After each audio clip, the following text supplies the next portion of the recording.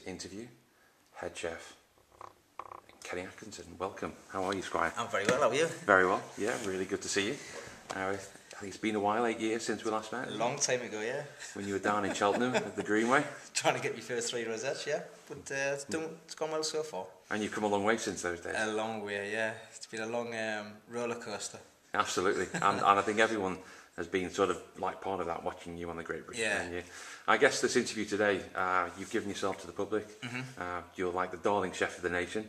Uh, but I guess the industry just want to know a, a little bit about you in terms of operational skills, techniques, your heritage, etc. So one of my um, you know kick-off questions is um, when when did you get the calling to be a chef?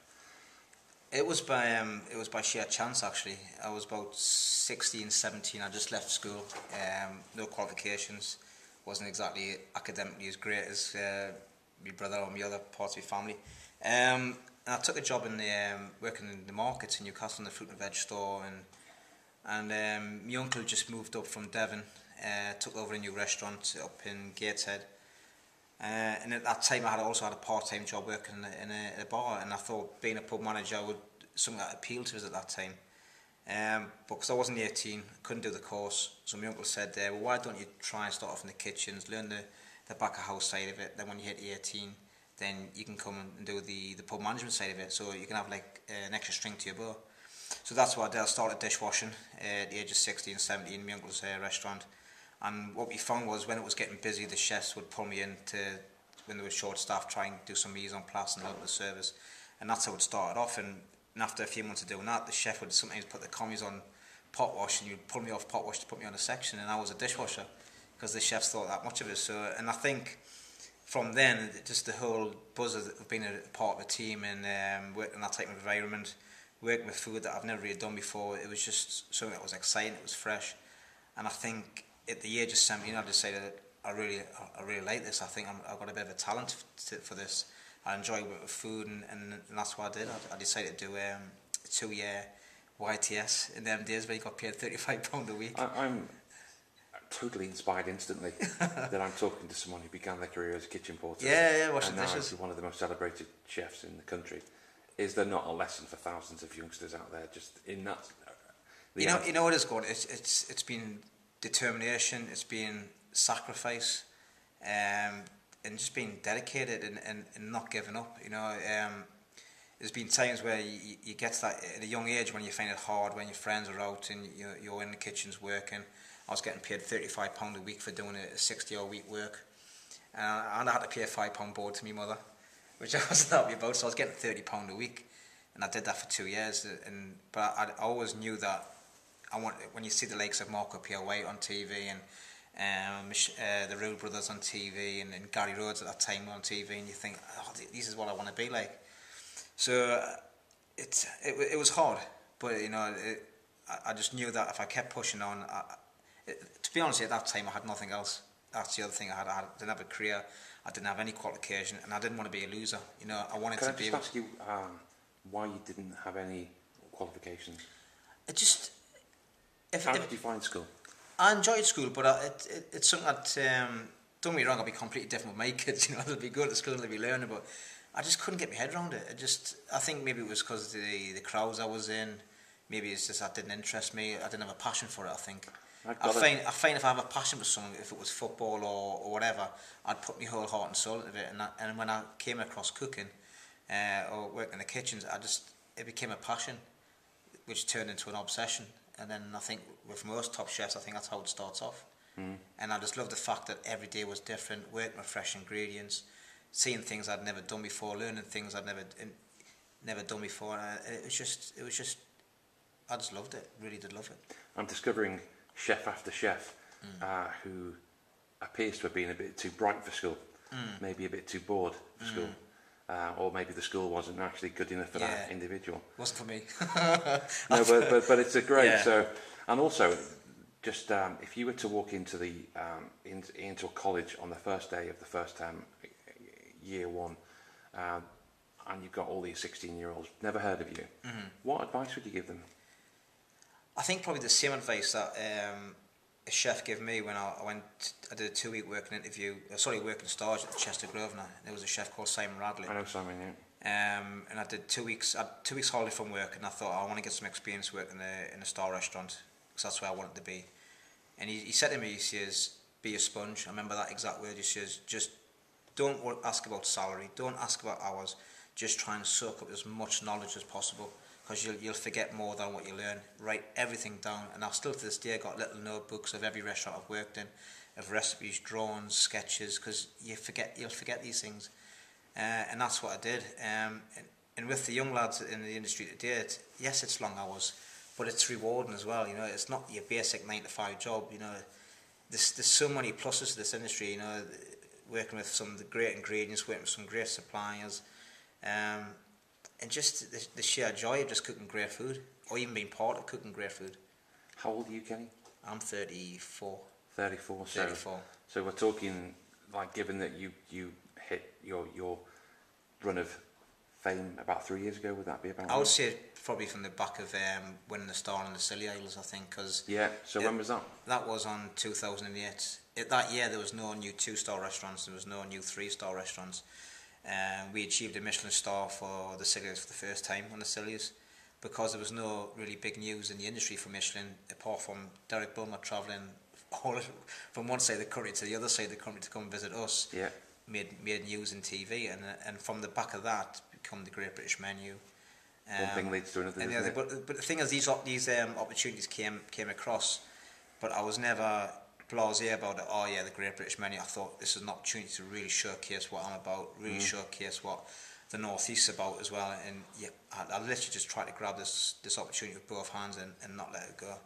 So, you, so what you're saying basically from zero to hero in 15 years. Um, right. Yeah, but I've, I've been yeah. I'll say this. I'm not trying to blow. it. I've, I've been fortunate to work with some great guys who have who've um, who've showed me the, the right path. You know, uh, in in regards to techniques, uh, kitchen management, um, and obviously the food I want to do, and also trying to create my own style.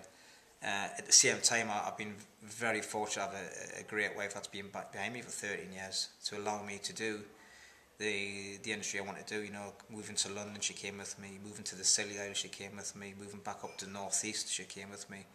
Uh, because of her, really, uh, it's allowed me to do the the 15 hour day work shifts that needed to be done at times. And and she's been to to look after the kids and be a rock at home for us. So I think having that as well has, has allowed me to do to have the career that I've always wanted.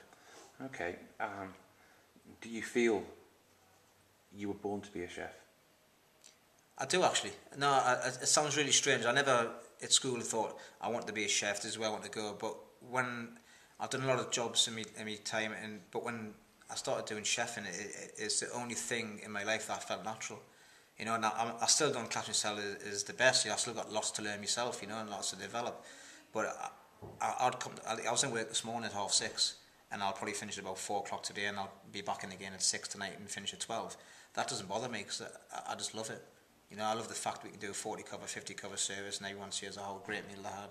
And I'll be straight back home, back at tomorrow, fresh, enthusiastic. That's incredible. And and I think a lot of chefs like that. But I think that comes down to, I think probably being upset, being obsessed by it. You know, I think a lot of the chefs at the top of the game have to have a certain obsession with food. Yeah, you do. You do. to keep driving themselves forward all the time. So, okay, so let's just begin to uh, put our hands onto that obsession. It's quite hot. I can feel it. Um, what, what is the cutting edge of that obsession? Is it is it Is it about consistency? Is it about making your customers happy? Is it your TV work? Is it your reputation? Is it your future? What what what what kind of gets you up in the morning? I think the first would be I think the customers was the first thing. Um, you know, we, we, we want people to come here. I'm not trying to be the best chef. We want people to come here and have a great experience. You know, we have the platform within the hotel. Um, we have uh, a reputation to maintain, obviously, because of the back of TV. People are coming from all over to, to try the food and to see what we're about. So there's almost an expectation there, and we don't want to have people travel from London to come up and be disappointed. So I think that is um, is always in the back of our mind. So we always try to make sure that uh, we're customer focused, give the guys a great meal. Um, I forgot the question now. Um, also, just driving the guys forward as well. You know, let them enjoy what we're about as well. Seeing work with suppliers. You know, we try to use as much local as possible, which is I feel privileged to do. I've got some great local suppliers. So then I feel as I'm doing... Who are those suppliers? We have, a, we have a butcher in the, the village, uh, Country Valley, which is just basically about five, five minutes from here, which have right. their, the local lamb, local beef, all within a 10-mile radius from are they the hotel. rare breed or anything? Or? Um, the beef is a Grand Reserve. Uh, the lamb is also Grand Reserve, local spring lamb. Beautiful? The pork, which is 10 minutes from here, which is a rare breed. They have two rare breeds, have the Berkshire and the Gloucester Old Spot, which he grows himself. Grows himself, sorry, produces himself. You'll get arrested for that. and uh, we have uh, we have our dairy, which is about another 10 minutes from here. And then our veg company, a little bit further afield. I think Who's that? we have two. We have a company called Wellocks and Deli Fresh.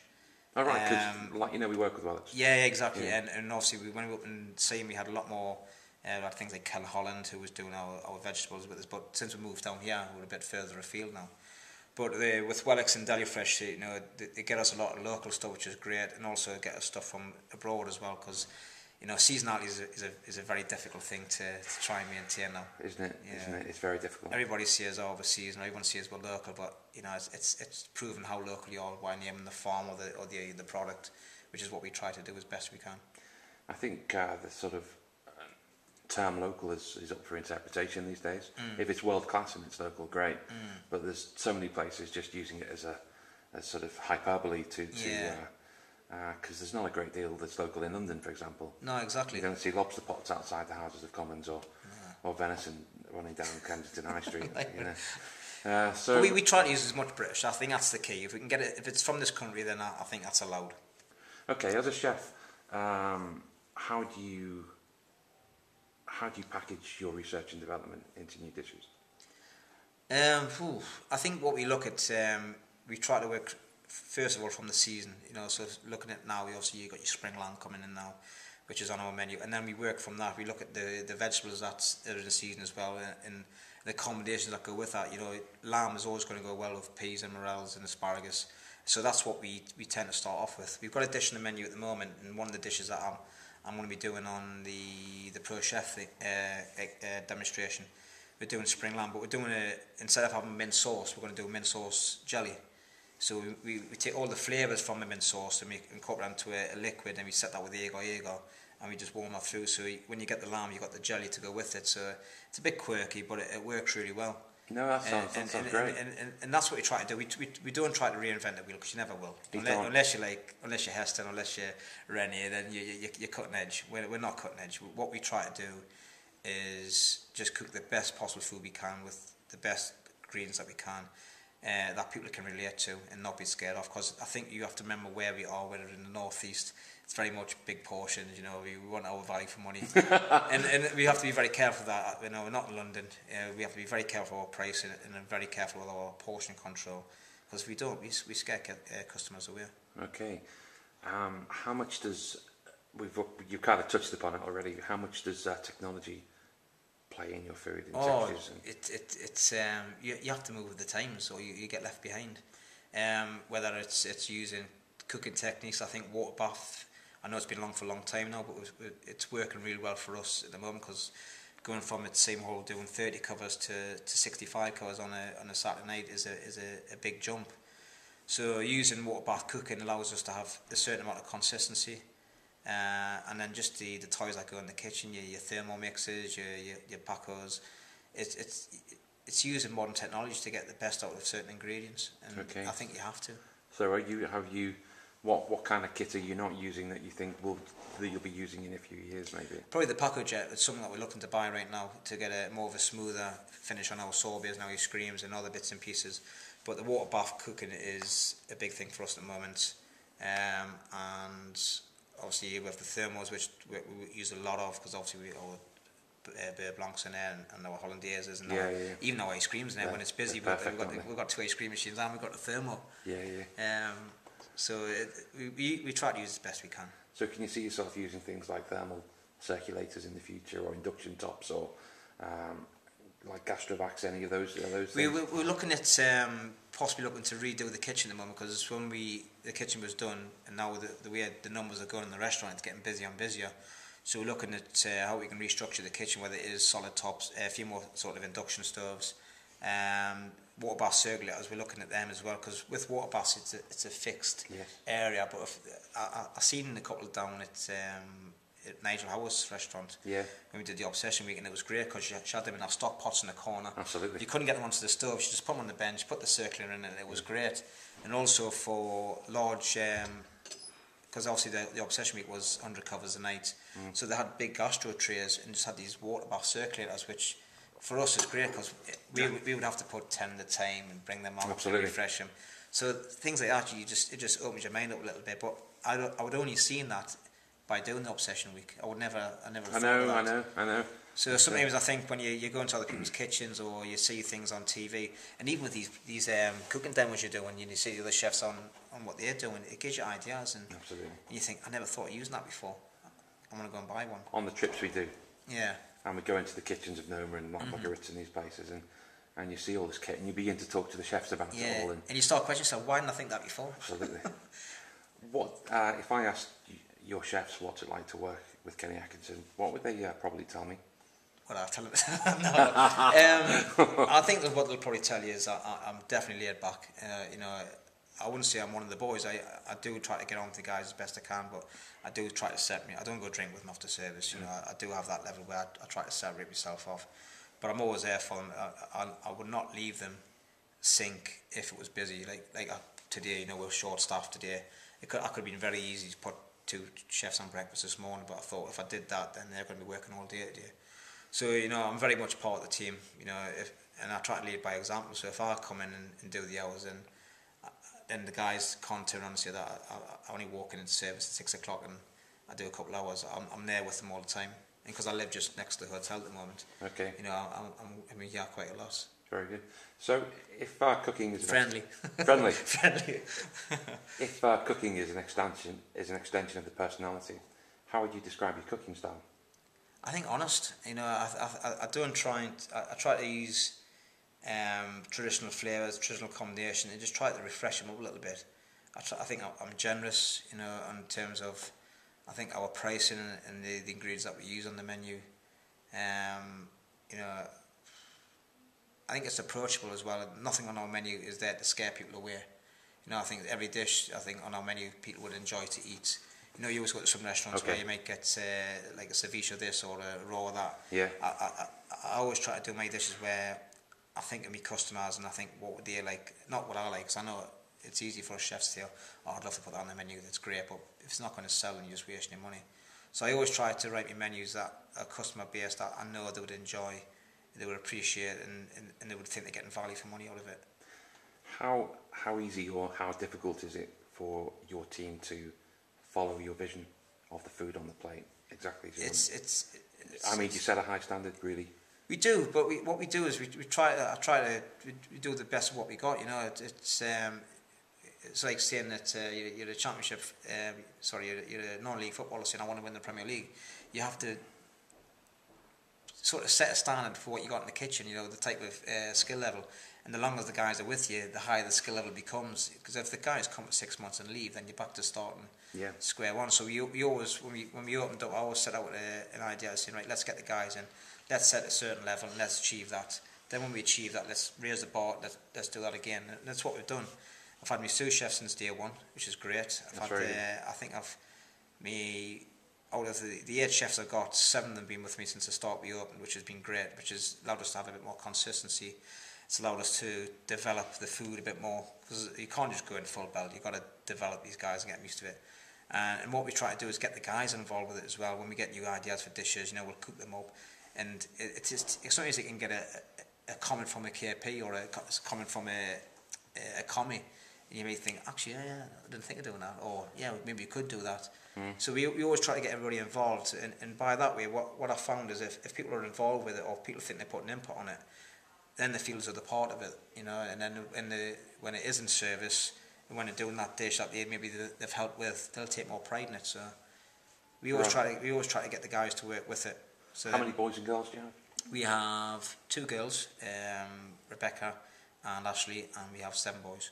Right, six okay. boys, sorry, six boys. Okay, that's uh, a fairly generous Yeah. team. perhaps, It, would it, it is. We, we, we, sometimes it's good to have girls in the kitchen because it calms the guys down a bit. Okay. But what, what, what, but what we what we find is the girls are very more attention to detail. Yes. We've got a young girl at the moment called Rebecca who who just done a year at Le Manoir and she, uh, she's phenomenal, absolutely brilliant. Her attention to detail is great, and it's it's it's setting the store to the other guys as well. Where Do you think if you have two dishes, one cooked that are the same dishes, one cooked by a girl, one one cooked by a boy, you can tell the difference? Probably yeah Yeah, I think I could, I, yeah. I, I think so. yeah I think they have a, a, a softer edge to their, Yeah. they're less engineering about their. But she's uh, got a she's got a good finesse, and sometimes the lads are, are more pushing on, a little bit more rough around the edges. But the, the girls are maybe a bit slower, but Yes. the, the finishing article is normally the best. Okay. um, we haven't even talked about the Great British Menu yet, which is Mm. perhaps what everyone is probably tuning into. Yeah. Uh, what's this uh, video about? Um, we know it's great uh, for the public to watch you. We know it's great for business Mm-hmm. Yeah. because you're you're showcasing your dishes. What role does uh, the Great British Menu have uh, for the industry? A good thing, and I think what you're looking to look at it, it it's bringing PR to the industry as a general. I, I think you see a lot of um, cooking programs on TV, like a Ready Steady Cook, which is it's a bit cheesy if I had to be honest. Um, you have your Jamie Oliver programs, which, which are great to watch. Yes. You have your Saturday Kitchen, which is great to watch, but it's all from a from a housewife point of view. They're, they're great for them to watch, but I think as, a, as an industry, as a young chef wanting to be a chef, there's nothing on there that really can think, this is what actually happens in the kitchen. This is what actually happens in real life. Um, so I think the likes of the Great British Menu showcasing what professional chefs are about, showcasing their, them at the restaurants and, and and putting them one on one. It's it's it's great TV. But as a young chef, even before I even did the Great British Menu, I was watching the likes of Chris Horridge, I was watching Glynn Purnell and Marcus Wareing, and watching these guys cook one on one and seeing Yeah. the type of food they do. It's great, and it, it inspires even me then as a head chef what they were doing. So it's only going to be a good thing for the industry as a whole. Is it is it um, fair to say that this is this is entertainment? Uh, that, that these things shouldn't be replicated because these dishes are personal and very practiced to you, um, or or is it a case of like like Andre Garrett? This is his like rhubarb dessert. Everyone should start doing that. What, what what where do you see? Is this like a shop window where you're setting uh, you know trends in the industry, or is it just like coffee table viewing? How do you see that? No, I think I think it's setting trends as well. I, I, I do believe it. When we do food on TV, if if people replicate that, um, we, we I think all chefs do that. You know, we go to a restaurant, we see an idea, and you try to. I think we we, we, no, we, all, we do. all we all do it. So I think to for us to do a dish on TV and then and say you can't re- re- replicate it, it's, it's stupid. You know, if people want to replicate your food, it's, you've got to be flattered by it. I think. Um, and when we do the food on TV, you know, we do try to do the best food we can for the criteria or the brief that we're hit with. You know, sometimes you'll see some of these chefs cook food that they might not always do in their restaurant, but they're trying to hit the brief of what the program's about. Um, but we just try to showcase, you know, our cooking, our food, and our our suppliers. Um, and if people want to get um, inspired by that, that's it's only a good thing for the industry. The, the more the industry keeps moving forward, and the more these chefs get better and better, the more keeps pushing us soul boys to get better and better. And the better, and before you know it, you know, we will be overtaken as, as one of the leading Europe, European um, destinations for food. Absolutely. Yeah, so it can only be a good thing for the future. And do you think the guys on like Richard British Menu, the you know producers and directors, um, I don't think they're seeing it from that point of view. I think for them it's just a pure entertainment program. yeah. yeah. In fact, dare I say it, they're perhaps not even bothered how it tastes as long as it looks good.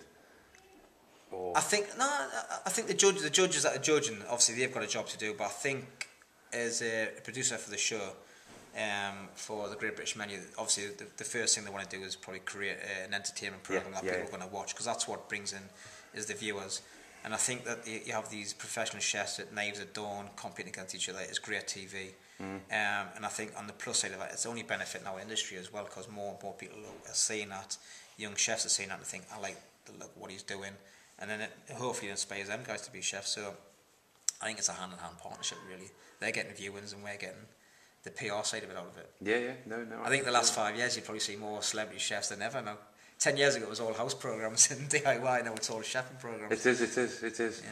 and it, it's um, it's interesting how that affects our purchasing trends in supermarkets. Mm. And uh, one of the I, I've been uh, um, a sort of quiet critic Mm. of uh, some uh, you know celebrity chefs that um, well not actually the chefs themselves, the people, Mm-hmm. all the producers that, that might uh, be teaching us to go out and spending a fortune on ingredients that we don't we've only seen once on TV, Mm-hmm. Yeah. Mm-hmm. and we can never replicate unless we become a Yeah. chef within that team for a, like you know for six Yeah. months. Um, and there's always a danger of that maybe taking place, perhaps, is there? Well, it's it's difficult on on on, um, on the Great British menu. It, it's if you're a, a housewife who wants to replicate that type of food, it's always going to be difficult. If Yeah. you if you go to try them, buy those type of ingredients, it is going to be expensive because what you see the chefs doing is, is showcasing probably the best products they can get a hold of because obviously they're representing the area Yeah. and they're trying to cook food that is going to take them to the banquet or to the final. Yeah. I think with the likes of Saturday Kitchens, a different different kettle of fish. And Market Kitchen, it's more based towards, um, you know, your, Yeah. your house viewer. So you, it, that is accessible to, to buy things at the shop, Yeah. to cook in, in live time if, if possible. And the pro, we've just done a program uh, last month called Perfect, which is uh, a new program they're doing, which is they'll take uh, like the best fish or the best beef dish, and they'll cook three dishes to try and encourage people to cook at home. And I think Saturday Kitchen is exactly the same. And, and, what we find was, um, when people do that dish and then they do the wine pen with it, people actually do go out and buy the wine. No, that's very good. And, and I, I'll tell you a story. We did sat, the first time I did Saturday Kitchen, I did with Glynn Purnell. And then the following day, I, w- I was back up in um, Newcastle. Was, obviously it's, in the morning. I was back up on Saturday, and every Sunday we do a shop. Uh, I was shopping, and um, I was in Morrison's with my wife. And this woman came up and went, "Oh yeah, I bought that bottle of wine you, we had with your dish last night. and It was lovely. It didn't dish didn't work very well, but we, we thought the wine was great." And you just think, "All right, fair enough." But the fact that they tried it and the fact they went and bought the wine just shows you that the I think the power of TV. And and I think as much as uh, what what I have realised as well over the past few years, it's great having the, the rosettes. It's great having the Michelin. I think since doing TV, that's become probably the biggest thing for us because um, there's that many Michelin star restaurants in the country now. There's that many Yeah. Rosetta restaurants. Do the basic public know what these are about? I don't think so. If, if I had to be completely honest, Yeah. Does uh, if you asked hundred people in the street now what are rosettes, they probably wouldn't. They probably I wouldn't I think know. they'd probably say it was like a it's something you uh, get a horse rider at Yeah. the end of like a, a, a, a show jumping yeah. event. no, that's true. But if you ask them what Michelin is about, they- they've heard of Michelin. Oh, we've heard of that because it's always on TV. But since doing TV, we've had more people come to the hotel at Seaham and here mm-hmm. on the back of that, and and and that's for me is, is proved to be the most important thing at the moment because it brings revenue to the hotel, it brings revenue to to the restaurant, and also revenue to my suppliers as well. So that's been a huge thing since doing TV. But at the same time, I'm not a TV chef. I'll only No, do not. I'll, I'll only do TV that will benefit us as a business, us as our, our reputation. Um, and I think the two programs I can do that has been the Great British Menu and the Saturday Kitchen, which is which is great for us. I think the Saturday Kitchen, you're right. That is, I, you know, I, I think the one that jumps out for me, although you know, Mm. like all chefs are great on it, is is a really simple uh, soup John Campbell made recently Yeah. with some but in the squash and stuff, you know, very, very easy to do. But if, yeah. if, if people see it, people will try it. And it's also quite got to be a little bit quirky where people will try and, oh, I've never seen that before. So we always try to do that. Is add a little bit of a, a quirkiness to it. And I know Glenn's always a great one at doing that. Yeah. But it's, but it's um, that, that's, like I say, that, that's been probably the, the, the, the big thing for us at the moment is try and do a little bit of TV every so often. Mm. And the, the, the publicity and the generation of business that's created for us has, has been great. So it, yeah, obviously, okay. But we're So- still trying to push for Michelin there, so we are still, we're still Well, well, I mean, you touched upon the guides there, and, Yeah. and, and we, I think the one that like Visionary Dining probably focus on more than ever uh, is like uh, the Pellegrino. all right, okay. So the top 50 really, Mm-hmm. which which is you know, we're off to all these places anyway. Um, what we we're, we're beginning to develop a view that that, that Michelin has um, has such a good reputation because they have an international scope. Yeah. Um, and someone like the AA would probably be seen as more of like a domestic guide, which is Yeah. fine. Uh, but like the Pellegrino is international scope, Mm-hmm. but also includes around 800 uh, you know professionals, Mm-hmm. uh, and I think that's why why we kind of like follow them. Where, where do you see the future for guides? I think it's all going to be online. Uh, it's, it's, it's all, I, I do believe, I would hate to say it, I, I hope it doesn't, but I, I do see the future for the likes of AA will be all online reviews, almost like your TripAdvisors Yeah, and your, yeah. your lastminute.com or your laterooms.com. I think that's, that's where the future's going. Mm. You know, you, in, I think it's easy to pick up a guidebook, and it's great to pick up a guidebook and you say, yeah, Michelin star, four rosettes, great. But then if you look at the TripAdvisor reviews, you have maybe 100 reviews of people who, who give their opinion. And sometimes you can, you can get a, if an inspector comes to your restaurant, you, like yourself, you know, you know that yourself, you could come on a great night and you can come on a bad night. I think with TripAdvisor, it's it's based, it's, it's your average day public giving their opinion what they think your restaurant or your hotel. Mm. So sometimes that can be great when when they it can be best of both worlds, I suppose. You get to learn what, what they do like about you and what they hate about you. So that's something where you can fix things or what you don't need to fix things. Mm. Um, but if you look at certain places now, TripAdvisor, you know, you, you see a lot of people as general commenters actually love what we do. Um, and they like the hotel, they love the rooms, love the spa, and, and that's I think if, if people are going to book a room here, they can read everyone's reviews and think, oh, I like actually like the sound of that, rather than just read a little paragraph of how great the food is. Yeah. So I think as a as a whole, things like that are probably the future. I think. Mm. Because like visionary dining is so industry based, we we think that like TripAdvisor, just to use a metaphor, is how the car drives. Mm-hmm. We're interested in how the engine runs. Yeah. You know what I mean? We're yeah, focusing yeah, yeah. on the on the dining element mm-hmm. more so than ever. And uh, so, where do you see yourself in five years' time? In five years' time, I'll still be here. Ah, okay. I've just bought in this interview still. um, and just trying to to work hard at um, of making Rockliffe one of the almost like the Gleneagles of Scotland, I suppose. You know, trying to have that prestigious of you know having a successful golf course, successful spa, successful restaurants. I've we've literally just taken on the a food director's role for the for Rockliffe now.